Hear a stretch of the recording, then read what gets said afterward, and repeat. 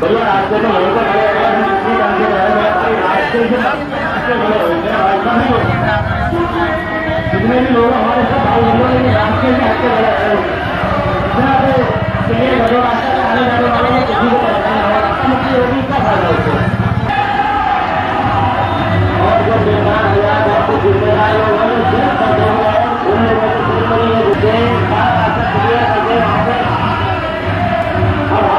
हर एक को का आ रहा है जो आप ये काम रहे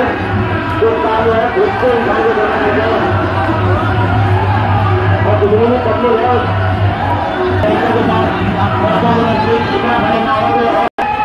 अपने अपमान का खुद जिम्मेदार बनेंगे समाजा करने से अच्छा है तो थोड़ा साइड से खड़ा होना हमारा काम है आराम करना बाकी किसी भी समझ में होगा तो अपनी जगह है।